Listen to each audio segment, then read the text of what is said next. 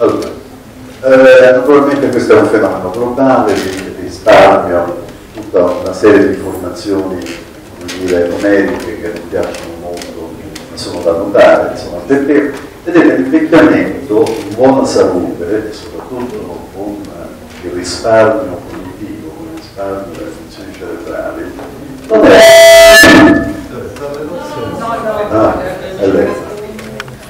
Non, una, non avviene gratis, eh? non è una situazione che è data per scontata, perché si hanno dei buoni geni, si, hanno, si sono scelti dei buoni genitori, perché si è vissuta una vita di, di, di cautele. Eh? È una cosa che si acquisisce e eh, devo dire che eh, recentemente, eh, all'alba del nuovo eh, millennio, quindi la fondazione che ha invitato qui oggi eh, celebrare anche attraverso questa, questa votazione di rappresentanti, si è potuto assistere al cambiamento rispetto a quelle che erano le terrificanti profezie che venivano fatte fino a qualche anno fa, eh, anziani malati, anziani dementi, anziani privi eh, di assistenza, perché le risorse basteranno, perché perché la malattia sarà endemica, no? l'epidemia del nuovo millennio e tante altre cose, eh, campane eh, epidemiologiche che hanno dimostrato una crescita esponenziale e tutte queste cose sono uh, state modificate in maniera ottimistica perché certamente eh, c'è da tenere conto del fatto che l'età della popolazione continuerà a crescere, è stato detto anche dalla nostra eh, professoressa Iannone, della presidentessa, che eh, in Italia gli ultraottantenni sono più di 3 milioni e eh, rapidamente nei prossimi 30 anni il numero degli anziani supererà di coloro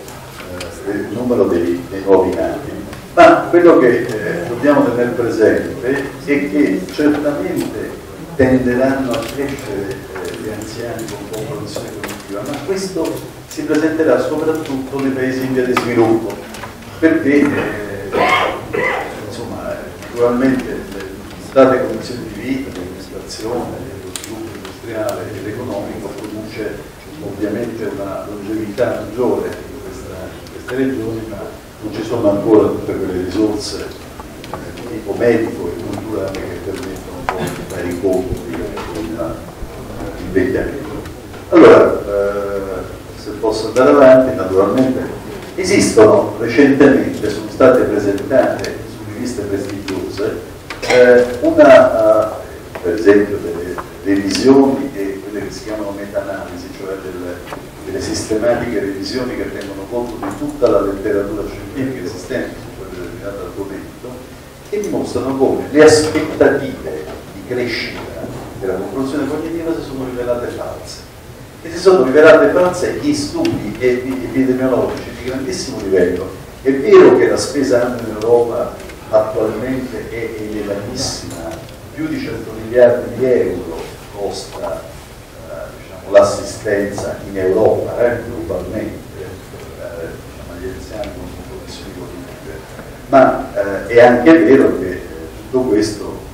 eh, non è soltanto della risorsa che gli anziani possono offrire, no? la necessità di essere assistiti e quindi la necessità di investimenti. Quello che si è visto, eh, e mi piace ricordare il parere del Comitato Nazionale di Bioetica che l'anno scorso è stato dato soltanto da un anno, ma eh, ho a proporre come una delle ultime eh, diciamo, eh, espressioni del Comitato un pronunciamento forte a favore della ricerca e specifica assistenziale come l'Alzheimer e eh, a, a sottolineare come l'Alzheimer non è una malattia che colpisce l'ansia.